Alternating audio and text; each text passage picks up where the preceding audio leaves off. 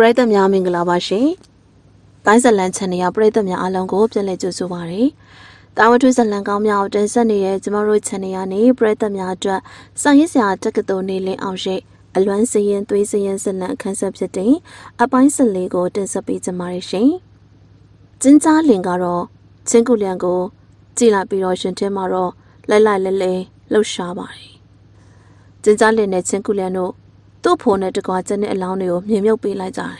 ။ကျင်းကြားလင်ကတော့အဖိုးဖြစ်သူရဲ့မြေပုံကိုအသေးချာလှုပ်ပေးတယ်။ကြောက်ပြားတစ်ခုစိုက်ထူလိုက်တယ်။သူတို့ကတော့တကြိုချင်းအမှုကိစ္စတွေဆောင်ရွက်ပြီးသွားတဲ့အခါမှာ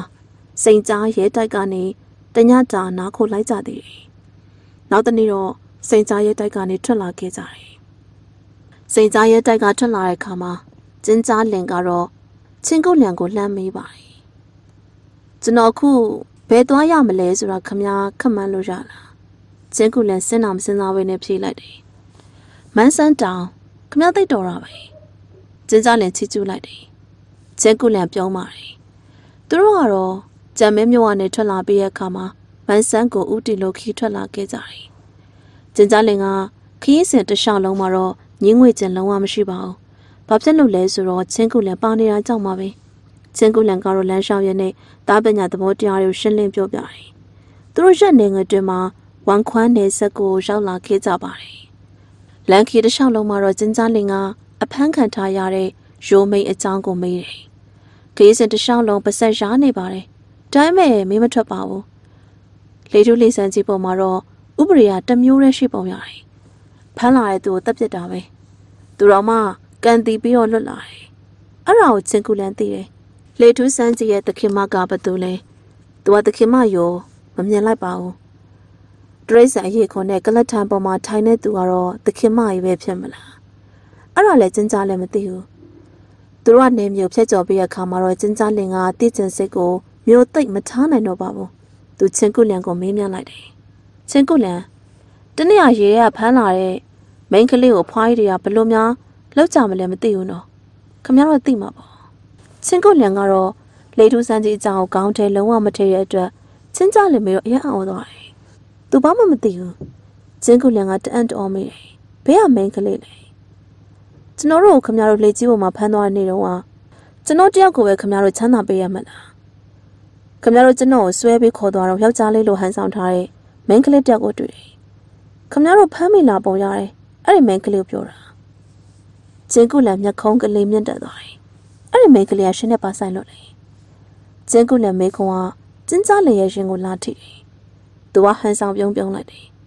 ဘာမှတော့မဆိုင်ပါဘူးဗျာဒါပေမဲ့ကျွန်တော်လည်းအဖမ်းခံရတဲ့လူပဲလေအဖမ်းခံရတဲ့ဘဝတူရေးဆိုတော့မေးတာပါဟိုအဖမ်းခံလိုက်ရယောက်ျားလေးအားလုံးကတော့အကျုပ်ပေပေရေးတဲ့ပြစ်ချခံလိုက်ရတာလို့မေးလိုက်တာပါကျင်းကြားလေကတော့အလျှောက်ကောင်းသွားတယ်ချင်းကုလန်ကတော့ဘာမှတန်တရားမရှိဘူးသူမကတော့ကျင်းကြားလက်နဲ့ အဲ့ဒီမိန်းကလေးအဆက်ဆက်ရှိမေမှန်းလုံးဝမရှိမိပါဘူးရှင်အမှတ်မားနေပြီဘာမားတာလဲရေတဲ့ပစ္စခံရရဘသူတွေလဲယောက်ျားတွေလားမိန်းမတွေလားယောက်ျားတွေအေးယောက်ျားတွေလေမိန်းကလေးတယောက်မှမပါဘူးအဲ့ဒါဆို तू မသိဘူးပေါ့ကျမတို့တခင်မရတမျိုးရှင်ဘလို့တမျိုးလဲ तू ယောက်ျားရောမုန်းတယ်မိန်းကလေးကို तू မမုန်းဘူး तू တန်းပညာတော်ရဆိုရင်ပိုတော်ချစ်တတ်တယ်အဲ့ဒီမိန်းကလေးကကန်ကောင်းပါပါဩ တန်းပညာတော်ရဲဆိုရင်ခမရတို့သခင်မရပူတော်ချစ်သေးတာကိုသိချတာပေါ့ကျင်းကြားလင်ကဆက်မေးဖို့အတွက်ဟန်ပြနေတဲ့အခါမှာမြင်းခွာတန်နေကြရတယ်ကျင်းကြားလင်နဲ့ချင်းခုလျံတို့အနောက်ကိုလှမ်းကြည့်လိုက်တော့မြင်းလေးကောင်ရဲ့ခွာတန်နေဖြစ်ပါတယ်မကြခင်မှာတော့မြင်းလေးကောင်ကကျင်းကြားလင်တို့မှီးလာတယ်အထက်တန်းကြကြပိုးဖဲအင်ကြီးတွေဝစ်စင်ထားတဲ့သူတွေပါပဲသူတို့ရဲ့ခါးရတော့တရှိတလက်စီကိုချိတ်ဆွဲထားကြတယ်တိုင်းသမားတွေဆိုတာမပြောဘဲနဲ့သိနိုင်တယ် ယောက်ျားလေးလေးယောက်စလုံး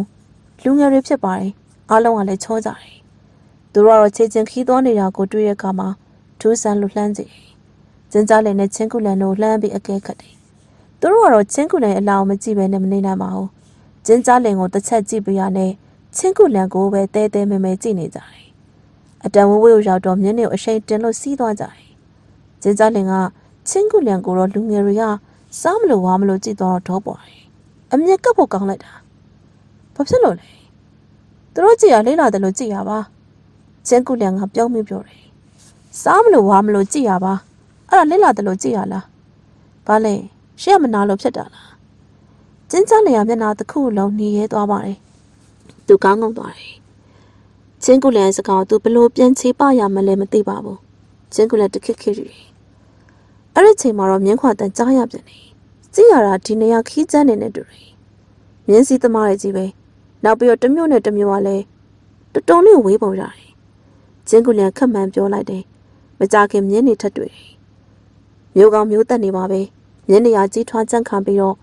တမ်းမပုံရတယ်ဒါပေမဲ့မြင်းနေပေါ်ပါလာတဲ့လူတွေကလပနှုတ်နေတဲ့မိန်းကလေး၄ယောက်ဖြစ်ပါတယ်၄ယောက်စလုံးအနည်းရောက်အင်ဂျီတွေစင်တူဝတ်ထားကြတယ်အပြောင်ဝတ်စုံတစ်ထည်ကိုလွှမ်းခြုံပြီးတော့ ဓာတ်တလက်စီခါမှချိတ်ထားကြတယ်သူတို့ကကျင်းကြားလင်နဲ့ချင်းကူလျံတို့ရဲ့အနာကိုရောက်လာတယ်စန့်ကျင်မဲ့လိန်တတော်တို့ရဲ့အကျင့်တိုင်းသူတို့ကတော့ချုံမလာပါတဲ့ကျင်းကြားလင်ကိုပဲကြည့်တယ်ကျဲကူလည်းနှက်ခါမဲလိုက်တယ်တော်တော်ရှက်မရှိရဟာမတယ်ဘာလဲခမရလည်းမနာလို့ဝန်တိုဖြစ်နေရလားကျဲကူလည်းကရုတ်တဲ့သူတို့ကိုနှလုံးပြူနေကြည့်လိုက်တယ်အဲ့နောက်တော့ပြေးလွှာထွက်သွားပါတော့တယ်ကျင်းကြားလင်ကတော့ချင်းကူလည်းစိတ်ကောက်သွားပြီလို့ထင်တယ် ဒါကြောင့်ကမန်းကရက်អော်တယ်ချင်းကူလည်းခမရကျွန်တော်နှောက်တာပါဗျပြန်လာခဲ့ပါချင်းကူလည်းသူ့ကိုလှည့်တော့မကြည့်တော့ဘဲနဲ့ဆက်ပြီးတော့ပြေးသွားပါတယ်ကျင်းကြားလင်ကတော့နောက်ကပြေးလွှားလိုက်တယ်အဲ့ဒီလိုနဲ့တယောက်ကပြေးတယ်တယောက်ကနောက်ကလိုက်တယ်ခရီးတော်တော်ဝေးဝေးကိုရောက်ပါတော့တယ်သူတို့ကတော့တောင်ကုန်းတစ်ခုကြားရှိုးကလေးထဲကိုပြေးဝင်ပျောက်သွားပါတယ်စင်ကူလန်ကတော့အဲ့ဒီတောင်ကြားထဲကိုပြေးဝင်ပြီးတော့ပျောက်ကွယ်သွားတယ် ကျင်းကြားလင်ကတော့အစွမ်းကုန်ပြေးလိုက်သွားတယ်ဆိုပေမဲ့သူ့ရဲ့ကိုဖော့ပညာကတော့ချင်းကုလန်နဲ့အလွန်ကွာဟနေတာနဲ့ချင်းကုလန်မျက်ခြေပြတ်သွားတော့တယ်ကျင်းကြားလင်အရန်ဆိုးရင်သွားတယ်အတန်ကြာတဲ့အခါမှာသူကတောင်ကြားလက်ကထွက်သွားနိုင်ပါတော့မယ်သူကတော့ပြေးနေတဲ့အရှင်ကိုရှော့လိုက်တယ်တောင်ကြားတွေကထွက်တဲ့အခါမှာတော့ပြန့်ပြူတဲ့မြေပြန့်ကြီးကိုတွေ့တယ်သူကတော့တော်တော်လန့်လန့်ကနေလို့တစ်ဖြက်ဖြက်အသက်နေတလွန်လွန်ထွက်နေတာကိုတွေ့ရပါတယ်အဲ့ဒီကွက်လက်ကြီးကတော့ အဆောက်နေရှိကြပြီးကျင်းကြားလင်ရောက်သွားတဲ့ဘက်မှာတော့အဆောက်လေးယောက်ရှိတာကိုတွေ့ရတယ်အဲ့တော့အဆောက်နေကဓာတ်ကိုစီနေပါပဲကျင်းကြားလင်ကိုစောင့်နေစီကိုခက်တီတီရှောက်လာတယ်ကျင်းကြားလင်တို့တော့သူတို့ကဥညွတ်ကာရဝပြုလိုက်တယ်ကျင်းကြားလင်ကပြန်လဲဥညွတ်ပြီးတော့အထဲကိုလိုက်တယ်ကွင်းပြင်ထဲမှာလူအများရောက်လာကြတယ်လူတွေကတော့ကိုယ့်အစုနဲ့ကိုယ်တီတိုးပြောကြတယ်အခုချိန်ထိကျင်းကြားလင်ရဲ့အသေးအကျွမ်းတိုင်းသမားတအူးတယောက်မှမတွေ့ပါဘူးမ တွေ့ရလဲကောင်းပါတယ်ဒီကျန်းလုံလို့လူများနဲ့တွေ့ရဆိုရင်မခက်ဘူးလားကျင်းကြားလင်ကကွဲရှင်ကိုကြည့်လိုက်ပါတယ်ကွဲလယ်မှာတော့စင်မြင့်တစ်ခုထိုးထားတာကိုတွေ့ရတယ်စင်မြင့်ပတ်လည်မှာတိုင်းသမားထိုင်နေကြတယ်ကျင်းစားလင်ကတော့လူအုပ်ထဲကိုတိုးဝေဝေရောက်ပြီးစင်မြင့်နာရောက်သွားတယ်အခုချိန်အထိကျင်းကုလန်ကိုရှာနေပေမဲ့လုံးဝမတွေ့ပါဘူးသူစင်မြင့်နာရောက်လာတယ်စင်မြင့်ကတော့ရင်ကောင်းလောက်အမြင့်ရှိတယ် အဲ့ဒီစင်ပေါ်မှာတော့အလံကလေးစိုက်ထားပါတယ်အပြာရောင်အလံအဝါရောင်အလံအဖြူရောင်အလံနဲ့အနက်ရောင်အလံတွေအလံတွေအားလုံးကတော့ပြောင်းမဟုတ်ပါဘူးအပြာရောင်အလံပေါ်မှာငွေရောင်ကြာပန်း၃ပွင့်အဝါရောင်လက်မှာရဲတင်းနှစ်လက်ချစ်ချီခတ်တည်ရှိတယ်အဖြူရောင်လံပေါ်မှာတော့မန်ဖီနေတဲ့ကြားကောင်းရုပ်အနက်ရောင်လက်မှာတော့အဖြူရောင်အယိုးကောင်းတစ်ခုပါတယ်အလံတွေကစင်မြင့်ပေါ်မှာတလူလူလွင့်လူနေတယ်စင်မြင့်ပေါ်လူတယောက်မှမရောက်လာသေးပါဘူး ကျင်းကြလင်ကတော့တားပညာတက်တာမကြသေးဘူးအဲ့ဒါပြင်ဒီလိုပွဲမျိုးနဲ့သူတခါမှမတွေ့ဘူးပါဘူးသူ့ဖေမွေးနေ့ဧကန်ပွဲကိုသာတိုင်းသမားမြများဆဆာလာရောက်တောင်သူတွေ့ခဲ့ပုံတယ်သူကတော့ကွင်းအခြေအနေကိုကြည့်လိုက်တဲ့အခါမှာစိတ်ဝင်စားလွန်းလို့ကြည့်ရှုနေခြင်းမဟုတ်ပါဘူးသူလိုက်လံရှာနေတာကချင်းကုလန်ပါပဲချင်းကုလန်ကိုပဲသူလိုက်ကြည့်တယ်ကျင်းကြားလင်တွေ့တာကချင်းကုလန်မဟုတ်ဘူးသူတို့လမ်းခီးမှာသွားလာနေတဲ့ချိန်မှာဖြတ်ကျော်သွားတဲ့ လူငယ်၄ယောက်နဲ့မိန်းကလေး၄ယောက်ဖြစ်ပါတယ်လူငယ်၄ယောက်က၎င်းမိန်းကလေး၄ယောက်လက်က၎င်းသူ့ကိုမတွေ့ပါဘူးသူတို့အာယုံနဲ့သူတို့တီတိုပြောနေကြတယ်သူတို့ကတော့ပတ်ဝန်းကျင်ကိုလှည့်ပတ်အကဲခတ်တယ်ဒါပေမဲ့ကျင်းကြားလင်ကိုတော့သူတို့မမှတ်မိဘူးကွဲပြင်းနေရောက်တဲ့ခါမှာတော့လူတွေကတဖြည်းဖြည်းများလာတယ်အတန်ပလန်တွေကလည်းစိုးစိုးကလိုတိတ်တိတ်ဆိတ်ဆိတ်မဟုတ်တော့ဘဲနဲ့စူညံလာတယ်မွန်တဲချိန်ရောက်တဲ့ခါမှာတော့ပရိသတ်တွေလှုပ်လှုပ်ရွှဲရွှဲဖြစ်လာတယ် မကြခင်မှာတော့လူတယောက်ဆင်းမြက်ပေါ်တက်လာတယ်အဲ့ဒီလူကအသက်50လောက်ရှိပါပြီအသက်ရွယ်ရတာနဲ့ရုပ်ရည်လည်းတီကြီးခန့်ညာလာတယ်သူဆင်းမြက်ပေါ်တက်ပြီးတော့မတဲရှက်လိုက်တာနဲ့စူညံနေရဲ့အတန်ပလန်တွေကမိကိုရှင်နဲ့တက်လိုက်သလိုငိမ့်သက်သွားတယ်အဒီလူကရက်ရှိမြောင်ကိုဦးညွတ်ကာရဝပြုတ်လိုက်တယ်အဲပရိသတ်စင်မြပတ်လည်မှာရှိနေရမဟုတ်ပါလားအဲလူကကြီးညာလိုက်တယ် ဒီကိုရောက်လာကြပြီးတဲ့များသိပြီးဖြစ်တဲ့အတိုင်းဒီနေရာကတော့နေ့ထူနေမြဖြစ်ပါတယ်ဘာဖြစ်လို့လဲဆိုတော့မဟာမိတ်အဖွဲ့စတင်ဖွဲ့စည်းမဲ့နေဖြစ်လို့ပါပဲဒီလိုမဟာမိတ်အဖွဲ့အစည်းကတော့တားလောက်ကတားတိုင်းနဲ့သက်ဆိုင်ပါတယ်ရဲဘော်ရောင်ရင်တို့ကြွရောက်ချင်းမြင်ကြတဲ့အတွက်လည်းကျင်းစုတင်ကွန်ပျူတာအကြောင်းကိုပြောကြားလိုပါတယ်ကျုပ်တို့ရဲ့ခေါင်းဆောင်ကြီးနှစ်ယောက်ကတော့တောင်ပေါ်မှာနေရာကျင်းတဲ့အတွက်ဒီမြေပြက်နေရာကိုရွေးချယ်ခဲ့တယ်မိတ်ဆွေရောင်ရင်တို့အတွက် ဒီနေရာကတော့ချေခင်းလက်ခင်တာတဲ့နေရာဖြစ်တယ်ဆိုရင်ခေါင်းဆောင်ကြီးနှစ်ယောက်ကတော်တော်ကျင်းနေမှာပါအခုအားလုံးလဲကျင်းနေကြမယ်လို့မျှော်လင့်ပါတယ်သူကတော့တက်ရောက်လာတဲ့တိုင်းသမားတွေကြည့်ပြီးတော့ပြောပါတယ်တိုင်းသမားတွေက900ကျော်600လောက်ရှိပါတယ်တိုင်းသမားတွေကြည့်ရတာကတော့အားရစရာပါပဲဒီနေ့ဟာလေဦးမဟာမိတ်ဖွဲ့တဲ့နေ့ဖြစ်ပါတယ်ဒီအဖွဲ့စီရဲ့ရည်ရွယ်ချက်ကတော့ချမ်းစင်းနဲ့ကျင်းကြားကြရရဲ့မတရားဖိနှိပ် ရစ်ဆက်တဲ့ရန်ကိုခုခံကာကွယ်ဖို့ဖြစ်ပါတယ်အောက်ကပရိသတ်တွေអော်ကြတယ်ဟုတ်တယ်မှန်တယ်မတရားဖိစီးနှိပ်စက်မှုတွေကိုခုခံကာကွယ်ဖို့လိုတယ်အော်ဒနီကလည်းပဝင်ညံသွားပါတယ်အဲ့လူကတော့အားရကျိနေသွားတယ်ကျုပ်တို့ရဲ့ရည်ရွယ်ချက်ကတရားမျှတပြီးတော့မှမှန်ကန်တဲ့အတွက်တိုင်းလောကပုံကိုယ်တွေထောက်ခံပေးတယ်လို့ယုံကြည်ပါတယ်သူရဲ့စကားဆုံးတော့လက်ခုပ်တန်နေဆူဆူညံ့ညံ့ထွက်လာပြန်တယ်ကျင်းကြားလည်းအခုမှသဘောပေါက်တယ်အခုတိုင်းလောကသားတွေက မိမိဖခင်ကြီးကိုတွန်းလှန်ခုခံဖို့စတင်ပြီးတော့အဖွဲ့တွေဖွဲ့စည်းနေကြပါပြီ။စင်မြင့်ပေါ်ကလူတွေကလက်မြောက်ပြီးအချက်ပြလိုက်တယ်။သူစကားဆက်တယ်။အခုမဟာမိတ်စတင်ဖွဲ့စည်းမဲ့အဖွဲ့ကတော့ဂျာသုံးဂျာပွင့်ကိုင်းဂျာကောင်းကိုင်းအယိုးကောင်းကိုင်းနဲ့ကျုပ်တို့ရဲ့ရဲတဲ့နဲ့လက်အဖွဲ့တို့ပဲဖြစ်ပါတယ်။တာလောက်ကသားတွေအားလုံးစီးလုံးညီညွတ်မှုသားလဲကျန်းကျန်းကြအောင်အန်တုနိုင်မှာပါ။နောက်ပြီးကြတော့ခေါင်းဆောင်ကောင်းတယောက်လည်းလိုအပ်ပါတယ်။ ဒါကြောင့်ဒီကိုင်းလေးကိုင်းပေါင်းပြီးတော့လေးယောက်ဖွဲ့ကိုလေးဦးအဖွဲ့လို့ခေါ်ပါတယ်ဒီခေါင်းဆောင်တွေထရတယောက်ကိုတော့ခေါင်းဆောင်အဖြစ်နဲ့ရွေးချယ်ရပါမယ်အတန်ပလန်နဲ့ဆူဆူညံ့ညံ့ပေါ်ထွက်လာတယ်အဲ့ဒီတန်နေကြားတွေမှာဖောက်ထွက်လာတဲ့အတန်တန်ကြားတယ်ကြောက်မေးပါရစေဒီအဖွဲ့လေးဖွဲ့တည်းမဝင်ရသေးတဲ့ပုဂ္ဂိုလ်ဟာခေါင်းဆောင်ရွေးပွဲမှာဝင်ပါခွင့်ရှိလားဒီနေ့ဒီစည်းဝေးပွဲကြီးကိုတက်ရောက်လာတဲ့သူတွေကလေးကိုင်းတက်ရောက်ဖွဲ့ဝင်နေမဟုတ်ကြပါမဲ့ ဒီအဖွဲ့လေးဖွဲ့ရဲ့မိတ်ဆွေဖြစ်ပါပြီအဲဒါကြောင့်ဒီအဖွဲ့လေးဖွဲ့ရဲ့ခေါင်းဆောင်တွေမဲပေးမယ်ဆိုရင်တော့မဲပေးပိုင်ခွင့်ရှိပါတယ်။အဲ့ဒါဆိုရင်ကျုပ်ကရဲနဲ့လက်ကိုင်းနဲ့ခေါင်းဆောင်မဟာမိတ်ဖွဲ့ရဲ့ခေါင်းဆောင်ဖြစ်တင်မြောက်ပါတယ်။လူအုပ်ထဲအတန်တန်ထွက်လာတယ်။မဟုတ်သေးဘူးမဟုတ်သေးဘူး။ကျုပ်ကတော့အယိုးကောင်ဖွဲ့ခေါင်းဆောင်ပဲ။ခေါင်းဆောင်ဖြစ်တင်မြောက်ခြင်းတယ်။အဲ့ဒီခါမှာတော့ကျင်းကြားလင်းနဲ့လမ်းမှာတွေ့ခဲ့ရဲဆိုရဲလူငယ်တယောက်ထေကတော့တယောက်ကဝင်ရောက်အဆိုပြုပြန်ပါတယ်။ မဟာမိတ်ခေါင်းဆောင်အဖြစ်ကြာသုံးဝက်ခေါင်းဆောင်ကျုပ်ကတော့ဆိုပြုတယ်။အဲ့ဒီခေါင်းဆောင်ရဲ့အမျိုးမျိုးတွေးတောတတ်တဲ့ပညာရရှိတယ်။ခေါင်းဆောင်လုံးမဲ့သူဆိုတာစင်ကျင်တရားတွေနဲ့တွေးတောတတ်ဖို့အရေးကြီးတယ်။တခြားတယောက်ကអော်လိုက်ပြန်တယ်။ကြာကောင်းကိုင်းရလူအင်အားတော်တော်များတယ်။ကိုင်းကြီးလေးကပူပေါင်းလိုက်တဲ့ဆိုရင်ကြာကောင်းကိုင်းရလူအင်အားများဆုံးပဲ။ကြာကောင်းကိုင်းရဲ့ခေါင်းဆောင်ဆိုတာမဟာမိတ်ဖွဲ့ရဲ့ခေါင်းဆောင်ဖြစ်ထပ်ပါတယ်။အစရ ရင်တကိုးလို့ဆိုရမလို့ပါပဲ။ဆက်စချင်းစောင့်တဲ့ train ဆိုသလိုအဖွဲ့၄ယောက်တို့ကတော့ဂိုင်းသားတွေကခေါင်းဆောင်တွေကိုတင်မြောက်နေကြတော့တယ်။စင်ပွားလူကတော့မထိန်နိုင်တော့။ခေါင်းဆောင်တင်ပြီးတော့ကိုယ့်ရဲ့ခေါင်းဆောင်ရဲ့အခြေအနေကိုရုပ်ရုပ်သဲသဲတွေဖြစ်လာကြတယ်။အဲဒီခါမှာအလန်တိုင်းတစ်ခုကတော့စင်မြက်ပေါ်ထိုးဆိုင်ကြလာတယ်။အဲဒီအလန်ကတော့ရှီရန်ကွင်းကိုကိုကွင်းပုံဖော်ထားတဲ့အလံဖြစ်ပါတယ်။လူတယောက်ကစင်မြက်ပေါ်ခုန်တက်လာတယ်။ ရုတ်တရက်အလံတစ်ခုပေါ်လာတာကတော့အချိန်ကြီးကောင်းတော့မဟုတ်ပါဘူး။တစုံတစ်ခုဖြစ်နိုင်ပါတယ်။ဇင်မြက်ပေါ်ခုံတက်လာတဲ့သူဟာအနက်ရောင်ကိုကျအင်ကြီးကိုဝတ်ထားပြီးတော့ခေါင်းစွပ်အနက်ကိုတက်ဆင်ထားတဲ့သူဟာဘယ်သူလဲမသိပါဘူး။ခေါင်းစွပ်နဲ့နဲ့လူကတော့ဇင်မြက်ပေါ်ကိုရီမောပြီးတော့လာတယ်။ကောင်းလိုက်တာလေးဦးမဟာမိတ်ဖွဲ့ကျုပ်ကဘာဖြစ်လို့မဖိတ်တာလဲ။ဆဆိုကဇင်မြက်ပေါ်တက်ရောက်စကားပြောလာတဲ့သူနောက်ကတော့တက်လာတဲ့ဝဲဆုံနဲ့ကို ကြောင်အအန်ကြည့်နေလိုက်တယ်အဲ့ဒီလူကတော့ဝစ်စုံနဲ့ကိုမေးလိုက်တယ်ခမရဘာတူလဲမျက်နာမှာတော့ခေါင်းစွန်းတဲ့လူကခမရမှာမျက်လုံးမပေါဘူးလားခမရမကြည့်တတ်ဘူးလားစမြက်ဘွားလူရှုံးမဲ့သွားတယ်အတန်ကြားရတဲ့တားပညာကိုခက်မှန်းနိုင်တဲ့လူကတော့တော်တော်ကိုတော်တဲ့လူဖြစ်မှာပဲကျောက်ကတော့အဲ့ဒီလူတွေထဲမှာမပါဘူးအခုတော့ခမောက်ပြပြထားခြင်းလေကျုပ်ကတာလောက်ကထဲမှာနှစ်ပေါင်းများစွာကျင်နေခဲ့တယ်အတားပါပဲ မျက်နှာကောင်းစုကတော့88စနဲ့ပြောတယ်ခမောက်ပဲကျင်ညာခဲ့တာမဟုတ်ဘူးလေဦးမဟာမိတ်အဖွဲ့ဆိုတာကျင်းကြားခင်ဟာရဲ့ရန်ကို ခုခံတွန်းလှန်မယ်လို့ပြောခဲ့ရမလားအဲ့ဒါကိုကျင်ညာခဲ့ရတော့ကျုပ်ရဲ့အတန်ကိုခမောက်တော့မသိရအံ့ဩတယ်စင်မြင့်ပေါ်ကလူရက်လန့်သွားတယ်ခမောက်က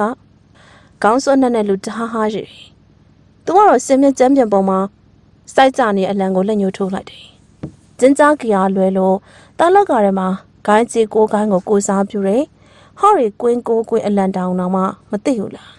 ။အဲ့လိုစကားမှကြောလာတယ်။ရောက်ရှိနေတဲ့တိုင်းသမားတွေကတော့အော်တုံလောက်သွားပါတယ်။သူတို့ကတော့ကျင်းကြားကြရကိုမသိစေဖို့တည်တဲ့အမောင်ချပြီးတော့အစည်းအဝေးတွေကိုကျင်းပခြင်းဖြစ်ပါတယ်။ဒါပေမဲ့ကျင်းကြားကြရကတော့အဲ့ဒီတည်ကိုရရှိပါပြီ။လူအလုံးကတော့အချင်းတွေကိုစောင့်ကြည့်နေကြတယ်။ခေါင်းစွပ်နှစ်ကတော့ဒီအစည်းအဝေးကိုဖျက်ဖို့ရောက်လာတဲ့လူဖြစ်မယ်လို့အားလုံးကထင်မှတ်ထားတယ်။ တိုင်းသမအားလုံးအတွင်းအထည့်ပြီးတော့ခေါင်းစွန်းနှစ်ကိုကြည့်လိုက်ကြတယ်။ဇမင်းပေါ်ကလူအားချောင်းတစ်ချက်ဟန်လိုက်တယ်။ကဲကျုံမေးပါရစေ။ခမပြောတဲ့စကားအသွားလောက်ထောက်ရင်ခမကကျင်းကြားကြရာကိုစားကျုပ်တို့မဟာမိတ်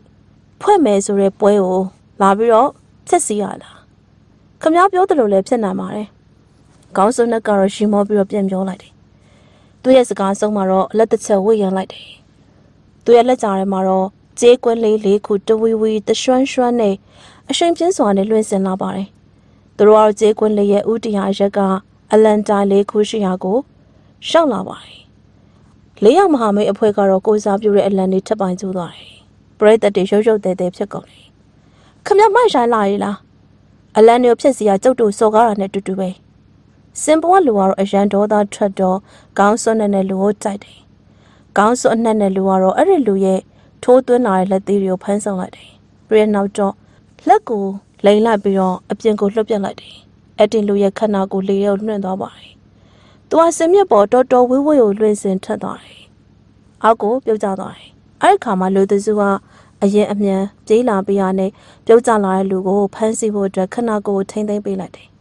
အဲ့ဒီချိန်မှာတပြိုင်နက်တည်းလူရိတ်နှစ်ရက်ကတော့ဆင်မြစ်ပေါ်ခုန်တက်သွားတယ်။ အဲ့ဒီလူတွေကတော့ရဲတင်းနဲ့လက်ခေါင်းဆောင်ပြီးတော့အားထရတဲ့ကိုရန်တော်နှစ်ယောက်ပါပဲ။အဲ့ဒီနှစ်ယောက်ထဲကတယောက်ကတော့နက်နစိမ့်ဝင်ပလွေဟူလျန်းဖြစ်လို့ကျန်တယောက်ကတော့မျက်နာညိုဝင်ပလွေလိန်ကွေးဖြစ်ပါတယ်။သူတို့နှစ်ယောက်ကတော့ဆင်မြစ်ပေါ်မှာရောက်တာနဲ့ခေါင်းစွန်းနှစ်ကိုညှက်ပူးညှက်ပိတ်တိုက်တယ်။ခေါင်းစွန်းနှစ်နဲ့လူကတော့အဲ့ဒီဝင်ပလွေနှစ်ယောက်ကိုလက်နဲ့အတွန်းထုံလိုက်တယ်။အဲ့ဒီဝင်ပလွေအနက်ဝင်းပလွေဝူလျံကတော့လက်တစ်ဖက်ထိပြီး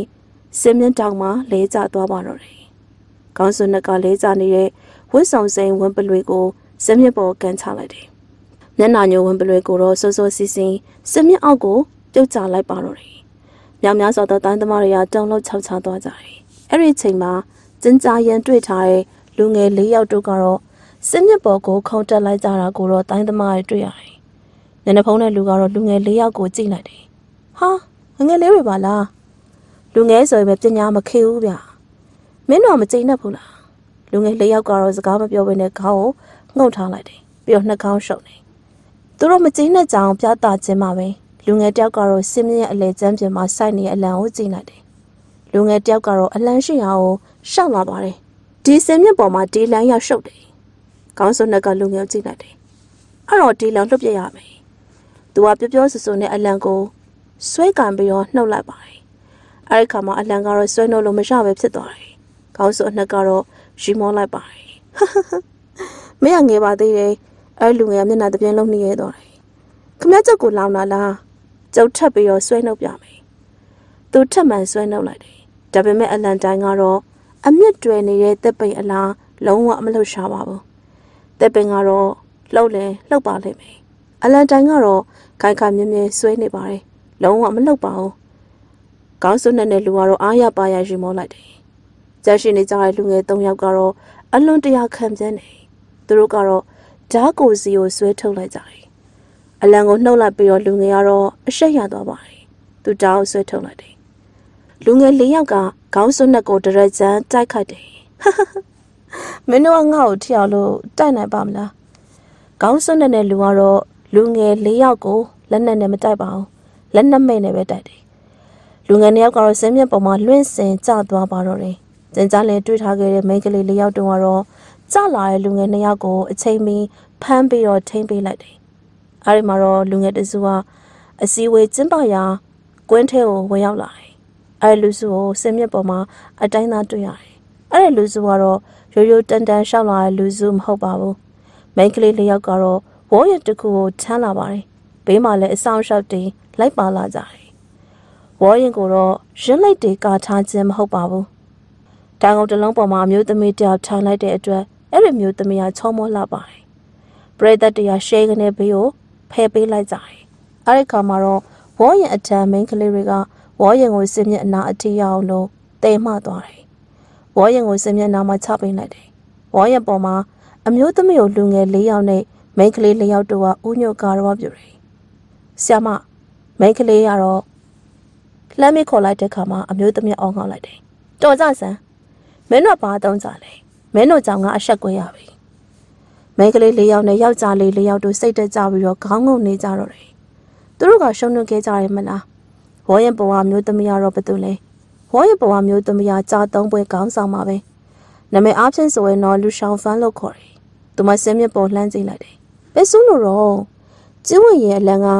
ဒီနှင်းတောင်ထီလာပြီးတော့စိုက်ထူနေပါလား။စင်ပေါ်ကနေကောင်းစုနှက်ကလက်ပိုက်ပြီးတော့ရက်နေတယ်။ အဲ့တော့အဖိုးတယောက်ကတော့အဆောင်လျှောက်တေးချန်ရံပြီးတော့စင်မြတိလျှောက်လာတယ်။အဲ့ဒီအဖိုးကတော့ရဲတင်းနှစ်လက်ခေါင်းဆောင်စင်ကြောင်းပဲဖြစ်ပါတယ်။စင်ကြောင်းကအစည်းအဝေးကိုကမကထပြုလုပ်ပြီးတော့ကျင်းပတဲ့သူဖြစ်တယ်။သူဒီအစည်းအဝေးကိုတယောက်ယောက်ကလာပြီးတော့ဖြတ်မဲဆိုအောင်ကြတော့အရန်စိတ်ဆိုးတယ်။သူတို့အစည်းအဝေးကတော့ရှော့ရှော့ရှူရှူပြီးမဲ့အစည်းအဝေးမဟုတ်ပါဘူး။အစတွေကသူ့ရဲ့ခေါင်းဆောင်ကိုယ့်ရဲ့ခေါင်းဆောင်အလှရဲ့တင်နေကြတယ်။ရှော့ရှော့ရှူရှူ မပြီးမဲ့အစည်းအဝေးကိုတော့ခေါင်းစွန်းနဲ့လာပြီးတော့ဖြတ်နေပြန်ပါပြီ။အဖိုးစင်ကြောင်းကတော့လူရှောင်းဖန်ပြောလိုက်တဲ့စကားကြားတဲ့အခါမှာမျက်နှာရည်တစ်ခုလုံးညှို့မဲသွားတယ်။ကျင်းဝင်ရဲ့အလံကဒီနှင်းတောင်ထီလာပြီးတော့စိုက်ထူနေပါလား။ရှောင်းဖန်ကလည်းပြောလိုက်ပါတယ်။ကဲငါမေးမယ်။ဒါငါပိုင်နဲ့ငါပိုင်နဲ့ကိုဘယ်တော့ရရဆက်ဆက်လာကြွကြော်တာလဲ။ခမည်းစကားပြန်ပြန်ပြောလိုက်စမ်း။ဘသူအမိန့်ကိုယူဆောင်လာတယ်လဲဆိုတာ။ကောင်းစွန်းကရေးပြီးပြောတယ်။ ဘာကွာဟုတ်တယ်လေခမ ्या ကိုရန်စားတာမဟုတ်ဘူးခမ ्या စီကိုအမိတ်စာချုံပါလိုက်တာသိပြီလားအမျိုးသမီးလူရှောင်းလန်းကလည်းမဲ့ပြုံးပြုံးလိုက်တယ်တင်းခုတ်သမားကြီးကြားရမလားသူများတွေအမိတ်ပါလာတာကိုကျမတို့ကဒူးထောက်ယူရမလို့ဖြစ်နေပြီလူရှောင်းဖန်ရဲ့စကားကတော့အဖို့စင်းကြောင်းရဲ့ဒေါသကိုပို့ပြီးတော့စွပေးလိုက်တယ်လို့ဖြစ်ပါတယ်သူကတော့စင်းပြင်းပေါ်ခုံတက်သွားတယ်ခမောက်ကြုံမေးမယ်ကျုပ်ကတတိတခြားဂိုင်းထောင်နေတဲ့သူ ဘယ်သူကကျုပ်ကိုအမိတ်လာပေးတာလဲကျုပ်မိတ်လာပေးတာအဖို့အစင်ကြောင့်ကတော့သူ့ရဲ့ဒေါသတွေကိုမထိန်နိုင်တော့ပါဘူးပေးလိုက်စမ်းသူကတော့ပြင်းထန်လာတဲ့လက်သေးတစ်လုံးကိုထိုးသွင်းလိုက်တယ်ကောင်းစုံနှစ်ကတော့လက်ဝါနဲ့စီးခံပေးလိုက်တဲ့အခါမှာလက်သီးအားကပြင်းထန်တဲ့အတွက်ကောင်းစွနဲ့ခြေတလန်းဆုပ်လိုက်ရတယ်ဒါမဲ့ထိုးလိုက်တဲ့အဖိုးအစင်ကြောင့်ကတော့နောက်ကိုခြေသုံးလန်းဆုပ်ပေးရတယ်။တိုင်းကွက်တစ်ခွက်ထင်းနဲ့အရှုံးနိုင်ပေါ်သွားပါတယ်။အဖိုးအစင်ကြောင့်ကတော့ခေါင်းစွနဲ့ကိုမနိုင်ပါဘူး သူအနောက်ကိုခြေသုံးလမ်းပင်စုပ်ပင်ရပါတယ်။အဲ့ဒီချိန်မှာတော့အဖြူပေါင်းလူရိတ်တရိတ်စင်းပြင်းပေါ်ခုံတက်သွားတယ်။ခုံတက်သွားတဲ့ဟန်ပန်အနေအထားရလွန်စွာလှပါတယ်။ကိုဖို့ပညာနဲ့ထိတ်တန်းမှာရှိတဲ့သူဆိုတော့ကိုအားလုံးကအတိမတ်ပြုထားပြီးပါပြီ။ပရိသတ်ရာပေါင်းများစွာတော့တေချာစွာကြည့်လိုက်တဲ့အခါမှာတော့အဲ့ဒီအဖြူရောင်လူရိတ်ကအဖြူရောင်ဝတ်စုံကိုဝတ်ဆင်ထားတဲ့မိန်းကလေးတယောက်ဆိုတာတွေ့ရတယ်။အဲ့ဒီမိန်းကလေးကလွန်စွာနုနဲ့ငယ်ရွယ်လာတာလည်းတွေ့ပါတယ်။ ဒါပေမဲ့တိုင်းသမားတွေကသူမဘာတူလဲဆိုတာမသိဘူးတိုင်းသမားတွေမသိပေမဲ့စဉ်းစားလင်ရတော့သိပါတယ်ဘာဖြစ်လို့လဲဆိုတော့သူမကသူလိုက်လက်ရှာဖွေနေတဲ့ချင်းကုလန်ဆိုတာကြောက်မှာပဲချင်းကုလန်ကစင်းမြင့်ပေါ်ရောက်တာနဲ့အဖို့စင်ကြောင်းနဲ့ခေါင်းစွန်းနဲ့တို့အကြောင်းဝင်ရောက်လိုက်တယ်စင်ကြောင်းအံ့ဩတုန်လှုပ်သွားတယ်စင်းမြင့်ပေါ်တက်လာတဲ့မိန်းကလေးကတန်းပညာအလွန်ထက်မြက်တယ်ဆိုစင်ကြောင်းသိတယ်ခေါင်းစွန်းနဲ့လူလန့်သွားတယ်အဲ့ဒီအချိန်ထိ သူခ ्यू ဆက်ရမယ်သူမပေါ်သေးဘူးလို့ထင်ထားတဲ့ပုံမှာပဲအခုသူအထင်မှားသွားပြီဆိုတာသူသိလိုက်တယ်။တိုင်းသမားအစ်စ်မြင်လာတဲ့မိန်းကလေးကရန်သူလားမိတ်ဆွေလားစင်ကြောင်းကတော့မိန်းကလေးကဘာတူလဲစင်ကူလျံကစင်ကြောင်းလှည့်မကြည့်ဘူး။ကောင်းစုနှစ်ကိုစိုက်ကြည့်နေတယ်။ရှေ့ကောင်းစုချွတ်လိုက်။နေကင်းကြောင်တော့ခိုးကြောင်ခိုးဝက်နဲ့ဘာလုပ်နေရလဲ။ဒီမှာအားလုံးဘယ်သူမှကောင်းစုမစွတ်ဘူး။အားလုံးကိုမျက်နှာကိုပြရဲကြတယ်။ကောင်းစုစွတ်လာတာကိုကျွန်မမကြိုက်ဘူး။ နေမကြိုက်နေပါတာလားချွတ်လိုက်လေ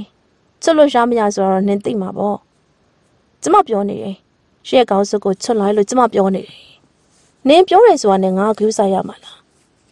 ငါဒီကလူတွေတယောက်မှဂူးမဆိုင်လို့ငါတယောက်ထဲလာခဲ့တာချင်းကူလည်းပြောလိုက်တယ်သူမလှက်တစ်ပြက်လှောက်ရှာလိုက်တဲ့နေရာမှာတော့သူမလက်ထဲမှာခေါင်းစွပ်အနှက်ကြီးပါလာပါတယ်အတော့ခေါင်းစွပ်နဲ့လက်ရမသိသွားတော့တယ်ခေါင်းစွပ်နဲ့ရှင်တုံသွားပါတယ် ဒါပေမဲ့တိုင်းသမားတွေကအဲ့ဒီလိုရဲ့မျက်နှာကိုတစ်ချိန်တစ်ခေါက်မှမတွေ့ဘူးတဲ့အတွက်စိတ်သက်သာရရသွားတယ်လူအကြားထဲမှာကျန်းကြားလင်ကတော့အဲ့ဒီမျက်နှာကြီးကိုကောင်းကောင်းသိတယ်တို့ဟုတ်ကျန်းကြားလင်လှုပ်ကနေရေရွှတ်လိုက်တယ်မှန်ပါတယ်အဲ့ဒီခေါင်းစွပ်အနှက်ကိုကျက်အင်ကြီးအနှက်ဝတ်ထားတဲ့လူကတော့ကျန်းကြားကေရရဲ့ဗနာထိန်တို့ဟုတ်ပါပဲတို့ဟုတ်ကတော့ချင်းကူလျံကသူ့ရဲ့ခေါင်းစွပ်ကိုချွတ်လိုက်တဲ့အခါမှာသူရန်စိတ်ပူသွားတယ် ထိတ်လန့်တုံးလို့သွားတာကြောင့်ရှင်ပူနေတဲ့အတွက်ကျန်းကြားလင်ရဲ့ရေရွှတ်တန်ကိုသူမကြားလိုက်ပါဘူးကြားလိုက်တာကတော့ချင်းကူလျံဖြစ်ပါတယ်ချင်းကူလျံကတို့ဟုတ်ကတော့မေးသိနေရရောက်နေတယ်လေဆိုတော့သိလိုက်ပါပဲကျင်းကြလင်လူတွေကြားရစမ်းမျက်နှာကိုတိုးဝင်လာတယ်။ချင်းကူလျံကကျင်းကြလင်လှည့်ကြည့်ပြီးတော့မေးတယ်။ရှင်ဒီလို့သိလား။သူမတိုးဟုတ်ကိုမကြည့်တော့ကျင်းကြလင်ကိုကြည့်ပြီးတော့မေးလိုက်ပါတယ်။အဲ့တော့ကတော့တိုးဟုတ်ရဲ့အခွင့်အရေးပါပဲ။သူကအခွင့်အရေးကိုကောင်းကောင်းအသုံးချလိုက်တယ်။ သူရဲ့ညာဘက်လက်ဝါးနဲ့အလွန်ပြင်းထန်လာတဲ့အာမန်သွင်းလို့ချင်းကူလျံရဲ့ခေါင်းပေါ်ကိုရိုက်ချလိုက်တယ်။သူရဲ့ချက်ကပြင်းထန်တယ်။သူ့ကိုမခုခံနိုင်တဲ့တိုင်းသမားဆိုရင်ဦးကောင်းတစ်ခုလုံးစစ်စစ်ညင်ညစ်ကြေးသွားတော့မှာဖြစ်ပါတယ်။တဟုတ်ရဲ့ပြန်ထန်လာရိုက်ချက်ကိုတော့ချင်းကူလန်ကထိတ်ထိတ်ပြပြမရှိဘဲနဲ့အေးအေးစစ်စစ်ပဲသူ့ရဲ့နှုတ်နယ်လာတဲ့လက်ဖဝါးလေးတွေနဲ့ခံပေးလိုက်တယ်။တဟုတ်ကတော့အတွေ့အကြုံအလုံးရင်းကျက်တဲ့လူတစ်ယောက်ပါပဲ။ ချင်းကူလန်ရစင်မြက်ပေါ်တက်ရောက်လာတဲ့ပုံကတော့လွန်စွာပေါ့ပါတဲ့အနေအထားအလုံးမလည်းတိကျကြနာလာတယ်။ဒီကလေးမလေးကိုသူထင်သေးလို့မရဘူးဆိုတာသူသိလိုက်တယ်။ဒါပေမဲ့သူ့ကိုသူယုံကြည်မှုလည်းရှိပါတယ်။သူကတော့တန်းပညာမှာထိတ်သည်အတွင်းအားပညာတွေထိတ်သည်လို့သူ့ကိုယ်သူယုံကြည်ထားတယ်။ဒါကြောင့်အတွင်းအားအပြည့်နဲ့ချင်းကုလန်ကိုရိုက်ချခြင်းဖြစ်ပါတယ်။သူရဲ့လက်ဝါးကတော့မိန်းကလေးရဲ့လက်ဝါးနဲ့ထိတွေ့သွားတယ်။ သူရဲ့လက်ဝါးကတော့တစ်ဖက်ရန်သူကိုလောင်ကျွမ်းစေနိုင်တဲ့အပွင့်ဝေးထွက်တယ်။ဒါပေမဲ့အပွင့်ဝေးကတော့လုံးဝထွက်ခွင့်မရပါဘူး။မိန်းကလေးရဲ့လက်ကအေးစိမ့်နဲ့အငွေးကသာသူ့ရဲ့လက်ဝါးထဲကိုဝင်ရောက်လာတော့ခံစားရတယ်။သူရမ်းထိတ်လန့်တယ်ဒီလိုနေရာမှာတော့သူကတည်တော့မှာဖြစ်ပါတယ်။သူချိန်နေရိပ်မိရဲ့ဆိုရင်ရိပ်မိခြင်းပဲစင်မြင့်ပေါ်လွှားကနေခုံချပြီးတော့ထွက်ပြေးသွားတယ်။အောက်ကပရိသတ်တင်ရတော့သူလက်လွတ်ပြီးတော့ထွက်ပြေးသွားတာကိုအလွတ်မခံပါဘူး။ဟေး ဘလို့စင်နဲ့ဝိုင်းဖမ်းကြကြ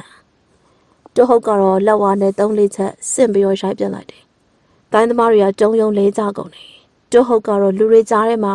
ဖောက်ထွက်ပြေးသွားပါတယ်။အားတဲ့ချိန်မှာတော့ကျင်းကြားလင်ရဲ့အော်တန်ကိုကြားလိုက်ရတယ်တိုးဟုတ်မင်းကဘယ်ပြေးမလို့လဲမိုးမစုံမြေမစုံပြေးစံငါလိုက်မယ်တိုးဟုတ်ကတော့ကျင်းကြားလင်အော်တန်ကိုကြားရပေမဲ့လှည့်မကြည့်ပါဘူးဒါပေမဲ့ရှေ့ကိုတကြိုးရဲပြေး ကျင်းကြားလင်ကနောက်ကအမိလိုက်တယ်လက်ဝါးနဲ့လှမ်းရိုက်တယ်တိုးဟုတ်ကတော့စကားတခုမှမပြောဘဲနဲ့လက်ဝါးနဲ့နောက်ကိုလှမ်းပြီးခံပေးလိုက်တယ်ကျင်းကြားလင်ကနောက်ကိုနှစ်လန်းလောက်ဆုပ်သွားတယ်တိုးဟုတ်ကတော့ရှေ့ကိုဝမ်းတရိုက်လောက်လွင့်သွားပါတယ်သူကတော့တရားရရှိသွားပြီးတရားရရှိအောင်တော့ဂူမထားနိုင်ပဲနဲ့အသက်ပေကလွတ်မြောက်အောင်သာအန်ကိုတင်းတင်းကြိတ်လို့ထွက်ပြေးပါတယ်။ကျင်းကြလည်းသူ့နောက်ကထက်ချက်မကွာလိုက်တယ်။နေလုံးကြီးကတော့တောင်ဆွေမှာ စင်းသက်ဝင်ရောက်စပြုနေပါပြီ။အမောက်ကပလာကြီးကိုတစတစလွမ်းချုံထားတယ်။အနောက်ဘက်မှာရှိတဲ့လေပြင်းကတော့တိုက်ခတ်လာတာကြောင့်တောင်ကြားတွင်သဲမုံနေပလူပြတ်နေပါတယ်။အဲဒီခါမှာတော့တောင်ကုန်းနှလုံးအကြားမှာတောင်ကြားရဲ့အထွက်အစည်းအဝေးကျင်းပရာကွမ်းပြင်ကြီးကလည်းတိတ်ဆိတ်ငြိမ်သက်နေပါပြီ။တိုးဟုတ်ကထွက်ပြေးရခါမှာတော့အာကုံတိုက်ခိုက်သွားခဲ့တဲ့အတွက်တရားရတဲ့သူတွေအများပြားနဲ့တေဆုံးသူ2ယောက်3ယောက်ကျန်ခဲ့ပါတယ်။ အဲ့ဒီမှာတော့လူလင်းက600လောက်ရှိလို့လူတွေအုပ်အုပ်ကြက်ကြက်ဖြစ်နေပါတယ်။ကွမ်းပြင်ထဲမှာတော့လူအပြည့်ရှိတယ်။ဒါပေမဲ့အခုမှတော့လူတစုံတယောက်မှမတွေ့ပါဘူး။ဇင်မြင့်ကြီးကတော့ထီထီငောင်းငောင်းကြီးတည်ရှိလို့နေပါတယ်။ဇင်မြင့်ကြီးရဲ့လေးပတ်လေးတက်မှာကျိုးကြနေအလံတရားမလမပတည်ရှိပါတယ်။စင်းမြရဲ့အလဲပဟိုမှာတော့ကွင်းကိုကွင်းအမတ်အသားပါတဲ့အလံတစ်ခုရဲ့သားလေးထဲမှာတလူလူလွတ်နေပါတယ်။ လေကပြန်တော့တိုက်ခတ်နေတဲ့အတွက်အလံကတစ်ဖြက်ဖြက်နဲ့အတန်ထွက်နေတယ်။အဲဒီကွင်းပြင်ထဲကိုဝစ်စုံနဲ့တယောက်ရောက်လာလို့နောက်ထပ်ကွင်းပြင်ထဲမှာစီဝေးပွဲလေပြတ်သွားပါတယ်။အခုလူ900 600တို့ကတော့ကိုလိုရှိရာရက်ကိုထွက်သွားကြပါပြီ။ဇန်ဇာလင်ကတော့ဒီအစည်းအဝေးကျင်းပရာကွင်းထဲမှာတယောက်တည်းပြန်လာခဲ့ပါတယ်။သူကတော့တိုးဟုတ်နောက်ကိုလိုက်သွားပေမဲ့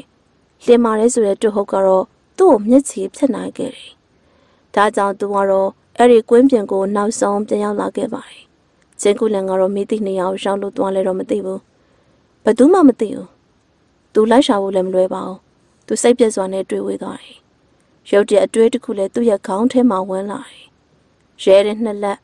ဂိုင်းကောင်းဆောင်စင်ကြောင်းကတော့နင်းတောင်ပေါ်မှာနေရဲဆိုသိထားတယ်။အဲ့ဒါကိုသွားပြီးစုံစမ်းနေဆိုရင်ကောင်းမယ်နဲ့တူတယ်။အဖွဲလေးပွဲရလည်းဘယ်ရောက်သွားမှမသိဘူး။သူတယောက်တည်းစဉ်းစားနေမိရဲ့အခါမှာတော့ ဖျောက်ကနေဆင်မြအလယ်မှာစိုက်ထူထားတဲ့ကွင်းကိုကွင်းအလံကြီးထပ်ပိုင်းကျိုးကျသွားတယ်။ဘယ်သူလဲ။အလံကိုလာချိုးလိုက်တာဘယ်သူလဲ။တရက်တစိလား။ကျင်းစားလေရှင်ထဲမှာထိတ်သွားတယ်။ပဝန်းကျင်ကိုကြည့်တယ်။အတန်တန်ထွက်လာတော့သူကြားတယ်။ဘယ်သူလဲ။ကွင်းကိုကွင်းကိုအလံရဲ့အမတ်သားလှုပ်ထားတာ။ကျင်းစားလင်ကအတန်လာရောက်လှမ်းကြည့်လိုက်တယ်။သူ့ရဲ့အနားမှာတော့မိသည့်ချိန်ကလူတစ်ယောက်ရှောင်းနေမှမသိဘူး။ရှောင်းနေတာကိုတွေ့လိုက်ရတယ်။အဲ့ဒီလူကအဖိုးကြီးတစ်ယောက်ဖြစ်ပါတယ်။ အသက်60လောက်အရွယ်ရှိပါပြီ။အဖိုးကတော့ပိန်လေတယ်။ဒါပေမဲ့တန်တန်မမပုံစံတော့ရှိတယ်။သူကတော့မိခိုးရောင်ဝတ်ရုပ်တစ်ထည်ကိုဝတ်ထားပါတယ်။ကျင်းကြားလေရှင်ထိတ်သွားတယ်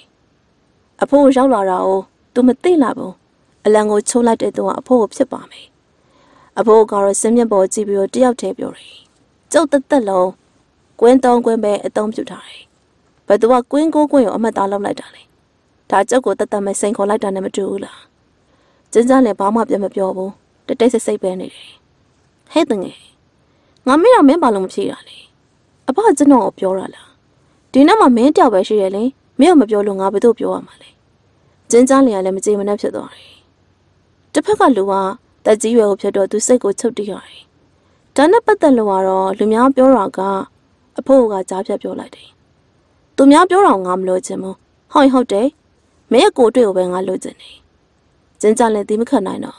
ဒီမှာအပအပအနေနဲ့ဒီလောက်တင်းတင်းမာမာမေးဖို့မလို့ကျွန်တော်အနေနဲ့အဖမေးရအောင်မဖြေခြင်းလေ